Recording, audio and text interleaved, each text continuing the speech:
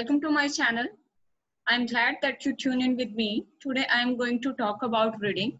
This is section C of the book of Allama Iqbal Open University. Code is 1423. Uh, so viewers, as you know कि हम ये lectures जो हैं वो unit number one पे दे रहे हैं जो कि टॉपिक है जिसका asking asking and answering the question ये लामा इकबाल ओपन यूनिवर्सिटी की बीए की कंपलसरी इंग्लिश है इसका कोड है चौदह तेईस। सो सेक्शन सी हम आज स्टार्ट करने जा रहे हैं जिसका टॉपिक है reading in this uh, section we are going to talk about guessing the meaning of words. Mean हम अल्फाज के मतलब को किस तरह जान सकते हैं या आइडिया कर सकते हैं या गैस कर सकते हैं उनके बारे में। So, let's start our today lecture. Many learners of English get worried or confused when they come across a difficult word. So, बहुत सारे जो लैंग्वेज इंग्लिश लैंग्वेज सीखने वाले स्टूडेंट्स हैं, या लर्नर्स हैं, वो जब मुश्किल वर्ड्स को पढ़ते हैं तो वो थोड़े से परेशान हो जाते हैं या कंफ्यूज हो जाते हैं और उन्हें वो समझ नहीं आते they want their teacher to translate और explain every word they don't know mean वो एक्सपेक्ट करते हैं कि उनका जो टीचर है ना, वो उन्हें हर वर्ड का ट्रांसलेशन बताए या उसको एक्सप्लेन करे जिनके उन वर्ड्स को, जिनको जो डिफ़िकल्ट वर्ड्स हैं उनकी समझ नहीं आ रही। Or they look up for meaning of every unknown word in a dictionary या वो फिर कोशिश करते हैं कि वो हर अननोन वर्ड को या जो मुश्किल लग रहा है वर्ड जो उन्हें समझ नहीं आ रही, उसको जो डिक्शनरी में जाकर फाइंड आउट करें। So dictionary is a great tool but if you rely too much on a dictionary then you would wouldn't be able to become a efficient and fast अगर आप बहुत ज़्यादा डिक्शनरी पे rely करने लगे तो फिर आप बहुत ज़्यादा एफिशिएंट और फास्ट रीडर नहीं बन सकते। You need to infer or guess the meanings of word through the context of situation so this is the quality you have to to build that आप इन्फर कर सके। मीन आप meaning को अखज कर सके या मीनिंग के बारे में कोई गेस या अंदाज़ा या तखमीना लगा सके कि उस वर्ड के मीनिंग क्या हो सकते हैं in a specific context or situation in which it is placed जिसमें वो प्लेस किया गया या जिसके बारे में वो लिखा गया है। The meaning of many unknown words can be inferred a guess from the context or perspective of the passive बहुत सारे अल्फाज के जो मायने हैं, जो अननोन होते हैं, उनको इन्फर्ड किया जा सकता है गेस किया जाता है by the context or the perspective यानी कि जिस परस्पेक्टिव में वो लिखा गया, जिस कॉन्टेक्स्ट में लिखा गया, या जिस पस मंजर में वो वर्ड्स लिखे गए हैं, उसके थ्रू इनको इजीली गैस या उनको समझा जा सकता है। It is very important to learn how to guess the meaning of unknown words when you read कहते हैं, ये बहुत ज़रूरी है कि आप इस चीज़ को सीखें कि वर्ड्स के मीनिंग को गैस किया जा, कैसे किया जाता है, जो अननोन वर्ड्स होते हैं, जब आप उन्हें रीड कर रहे हो।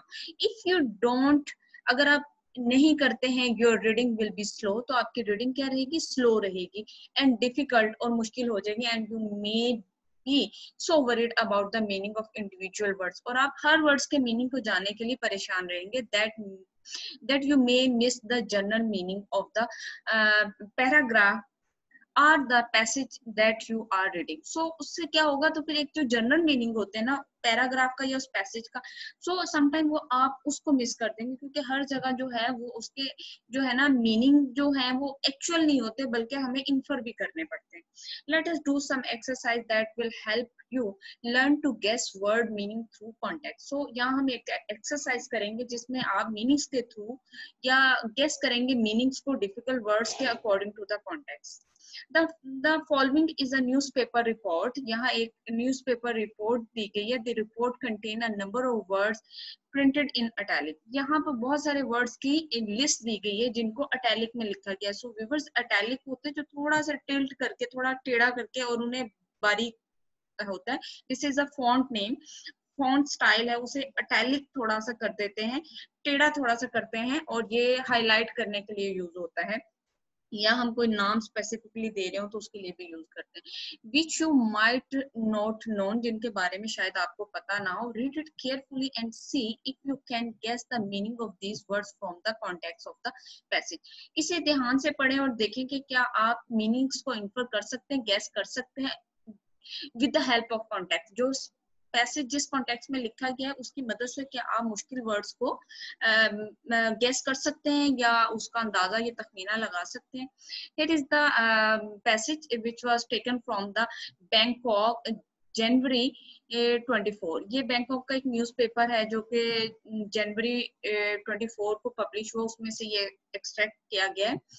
So let's start over exercise a police spokesman told reporters, police के स्पोकमैन स्पोकमैन वो होता है जो किसी को का नुमाइंदा हो, ठीक है, या किसी की किसी की तरफ़ से बोल रहा हो, वो रिपोर्टर को बताता है दैट एन अनआइडेंटिफाइड मैन एक मशकूक या नामालूम शख्स हैड नाइव्ड सिक्स फॉरनर उसने खंजर मारा नाइट होता है खंजर सिक्स फॉरनर्स जो के गैर मुल्की हैं in a back here yesterday back में, उनकी बैक में यस्टरडे कल. The victims were only slightly injured victims जिनको वो खंजर लगा था, वो हल्के से जख्मी हुए हैं. Extra uniformed and plain clothes police have been deployed in various residential areas and tourist sport to track down the man. अब extra uniform and plain dress uniform में तो जो है, जैसे पुलिस का एक स्पेसिफिक यूनिफॉर्म होता है या आर्मी का होता है या हमारे जो आर्म फोर्सेस है, उनका होता है या और plain dress plain cloth mean जो आम, सादा लिबास में लोग होते हैं उन पुलिसमैन वालों को क्या किया गया? डिप्लॉयड किया गया है। उनको एक जगह पर तैनात किया गया है इन वेरियस रेजिडेंशियल एरियाज़ वो रिहायशी जगह हो या टूरिस्ट स्पॉट्स हो, जहाँ पे आप सैरो तफरी के लिए जाते हैं टू तो track down down the man उस आदमी को ढूँढने के लिए या उसे तलाश करने के लिए।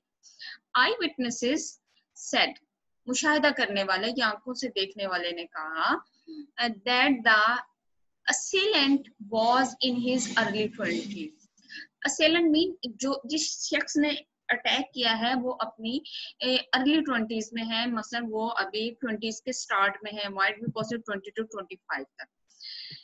Had fair skin and short hair and wore glasses क्या है स्किन उसकी फेयर है शॉर्ट हेयर है, और उसने क्या किए में पहने में ग्लासेस पहने में one of the victim said he didn't see his assailant एक विक्टम जो एक विक्टम था, उसने कहा कि उसने अपने सेलेंट यानी कि खुद पर हमला करने वाले को नहीं देखा है but felt a sharp knife thrust into his left side but उसने महसूस किया कि एक तेज खंजर जो है, उसके लेफ़्ट साइड पर घोंप दिया गया या वो घुस गया। I held I hailed a taxi and went to the hospital he said.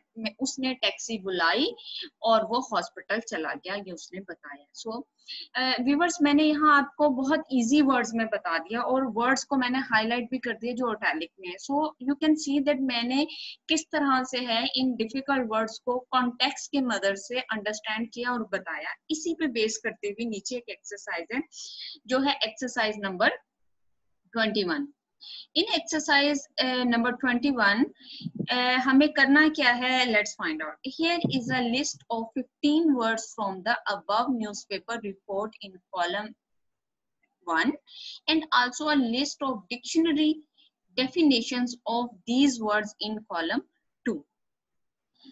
so so, viewers क्या कह रहे हैं कि नीचे दो कॉलम्स दिए गए हैं जो में कॉलम ए में वो वर्ड्स दिए हैं जो यहाँ से उठाए गए 15 अटैलिक्स वर्ड्स और जो कॉलम टू है उसमें डिक्शनरी की जो डेफिनेशन हैं उनको दिया गया can you match each word with the correct definition क्या आप हर लफ्ज को उसकी करेक्ट डेफिनेशन के साथ जो है मिला सकते हैं? सो व्यूवर्स आपको मैंने ऊपर उर्दू में भी अच्छी तरह समझा दी। होपफुली आप एक्सरसाइज को कर पाएँगे, लेकिन फॉर योर ईज मैंने यहाँ इसको जो है मैच किया है और let's try to find out how we can actually find out the correct definition which has been given in column two So uh, let's read the column one, then I read the column two so that you have uh, uh, an idea that how definitions were placed and और हमें आसानी होगी किस तरह हम words को उनके definitions को ढूंढ पाएंगे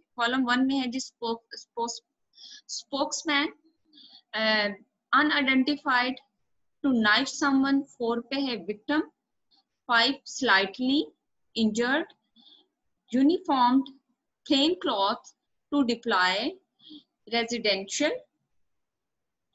to track down eyewitness assailant to thrust and to hail अब हम कॉलम टू को देखते हैं इसके आपको मीनिंग्स में ऊपर सब बता चुकी हूँ सो कॉलम टू के जो है मीनिंग्स वो मैं आपको साथ साथ अब बताऊँगी to push suddenly and with force अचानक से घुसाना या ज़ोर लगाना विद फोर्स ताकत से।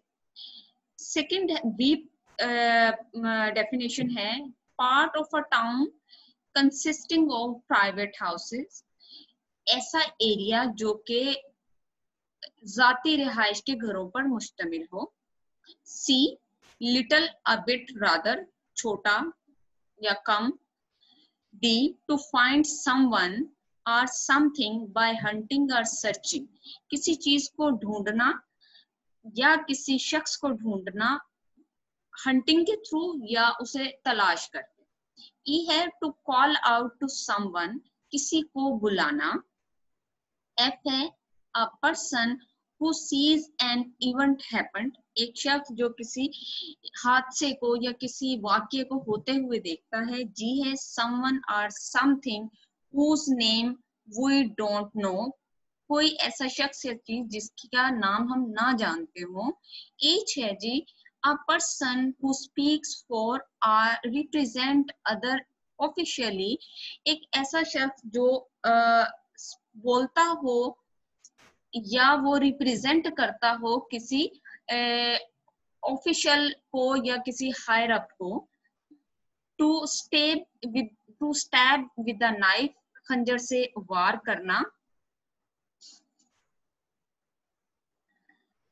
एन अटैकर अटैक करने वाला। Someone who suffers pain hurt or death कोई एक जो सफ़र कर रहा हो, तकलीफ़ से, दर्द से या वो मौत का शिकार हो गया हो। To place or position people specially soldier or police man एक ऐसी जगह जो स्पेशली मुकर की गई हो पुलिस मैन या सोल्जर्स के लिए in a particular way for action एक खास तौर पे किसी अमल अमल दरामद करने के लिए। एम है dressed in a certain type of clothes which all members of a group wear, mean एक ऐसा मखसूस लिबास जो उस ग्रुप के तमाम लोग पहनते हो। एन है हर्ट तकलीफ़ होना, और ओ है wearing ordinary cloth on duty आम सादा लिबास पहनना ड्यूटी पर। So let's let's try to match these words with their definition. Spokesman. So so, मैंने स्पोकमैन के बारे में बताया था वो शख्स जो बात करता हो किसी और के बेहाफ पे जैसे किसी अदारे का स्पोक्समैन हो सकता है। सो so, ए जो है वो मैच कर रहा है ए जो है हमारा मैच कर रहा है एज के साथ। A person who speaks for or represent other officially second है अनआइडेंटिफाइड जिसकी पहचान ना हो सकती हो। Someone or something whose name we don't know जी के साथ मैच कर रहा है। To knife someone, किसी को छुरी या चाकू मारना to stab with the knife knife के साथ वार करना। विक्टम फोर पे है। ये मैच कर रहा है जी। विक्टम हर्ट तकलीफ़ होना। सॉरी विक्टम किसके साथ जा रहा है? हाँ जी हर्ट होना। स्लाइटली सी के साथ है little a bit rather than injured जख्मी हो जाना someone who suffers pain hurt और डेथ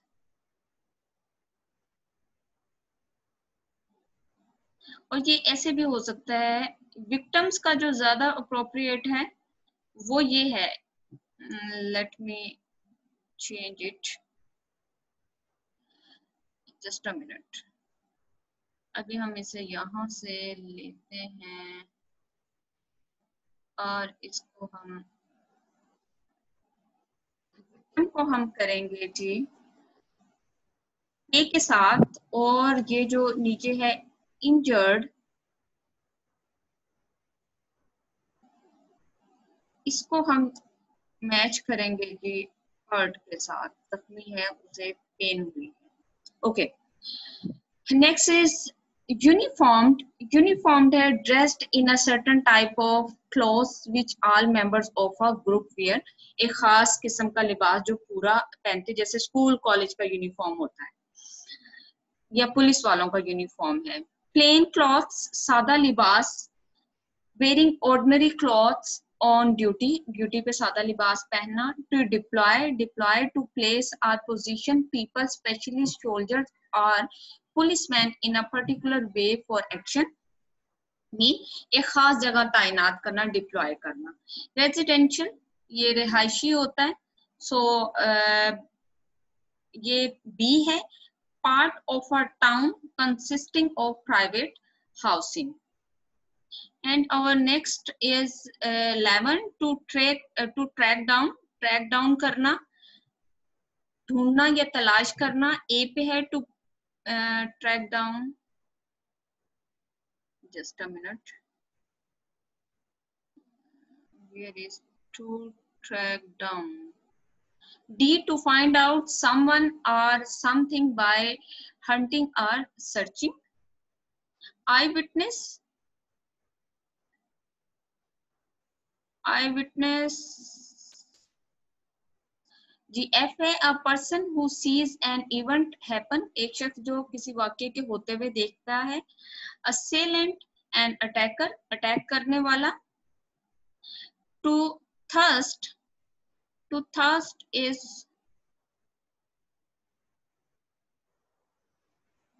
ये ऊपर है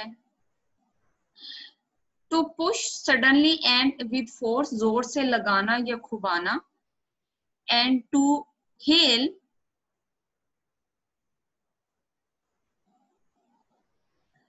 to call out to someone किसी को बुलाना एंड पे उसने जो है टैक्सी ड्राइवर को बुलाया था हॉस्पिटल जाने के सो so, व्यूवर्स ये मैंने आपकी आसानी के लिए यहाँ मैच कर दिया। आपने इसकी प्रैक्टिस करनी है and it will help you to learn other words as well now let's move towards our uh, next exercise which is actually exercise number 22 in the newspaper report you must have noticed how a noun a knife can also be used as a verb so noun kya use hua as a verb hua hua hai now here are some more sentences in each sentence there is one word written in bold और इसमें जो भी word है उसे bold करके लिखा गया है जो नाइन है नाउन है but as a verb use हो रहा है these words are verbs are drive from very frequently use noun guess their meaning बहुत ज़्यादा यूज़ होने वाले नाउन है, हमने इसके मीनिंग्स को ढूंढना है। The nurse wheeled the patient into the operating room nurse wheeled the patient लेकर गई व्हील यूज़ होता है ना व्हीलिंग के लिए। तो नर्स जो है, वो पेशेंट को लेके गई ऑपरेटिंग रूम में। Children like these pills because they are coated with sugar so क्या है? कोट किए गए हैं ओवरलैप किए गए बच्चे ये कैंडीज या ये पिल्स पसंद करते हैं क्योंकि ये शुगर कोटेड है। It's very stuffy in here I think we should air the room air the room mean उसे हवादार करना चाहिए, उसे खोलना चाहिए या उसमें वेंटिलेशन का अरेंज करना चाहिए। स्टफी है बहुत ज़्यादा ना जगह। Our uh, fourth uh, sentence is the first concerned the rat and then caught it पहले कह रहे हैं कंसर्न पहला जो है उसे देखें रैट को और देन फिर क्या करें उसे पकड़े The policeman worded his reply very carefully. Policeman अपने अल्फाज को बहुत या अपनी गुफ्तगु को बहुत ऐसा अंदाज से ए, बोलते हैं जवाब देने के लिए वर्डेड उसे अरेंज करते हैं वर्ड से he was a small baby when I saw him last वो एक छोटा बच्चा था जब मैंने उसे आखिरी बार देखा। I can't picture him as a father now मैं उसे बाप के रूप में नहीं देख सकता। So the word picture is use for the कि मुझे ऐसा फादर जो है मैं उसे नहीं देख सकता। Thousands of people line the streets. मतलब बहुत सारे लोग जो हैं वो गलियों में जा रहे हैं line the streets. It is not easy to bone a chicken before you actually cook it. So बहुत मुश्किल है uh, उसको हड्डी में में कन्वर्ट करना। To bone a chicken mean chicken पे से मीट को उतार देना और उसकी बोन्स को अलग करना। जब तक कि आप उसे पका लेने पके हुए गोश्त को हड्डी से अलग करना it's bit easier the president chair the meeting president ने चेयर की मीटिंग से को यानी कि हेल्ड किया या उस मीटिंग की सदारत की सो चेयर्ड एज अ सदारत यहाँ यूज़ हो रहा है। He the name on the wall chalk है लिखना चौक करना लिखना उसने उसका नाम दीवार पर लिखा। So viewers this is uh, today lesson in our next lecture we will go for exercise number 23 so, viewers, if you like the lectures, lecture pasand aa rahe hain to please channel ko subscribe kar le bell icon को hit करें, ताकि हर आने वाला lecture आपको time पे मिलता रहे और आप उसकी प्रेपरेशन करें वीडियो को लाइक करें, बाकी स्टूडेंट के साथ शेयर करें, ताकि आपकी हेल्प हो रही है तो इससे बाकी स्टूडेंट्स की भी हेल्प हो सके। अल्लाह हाफिज टेक केयर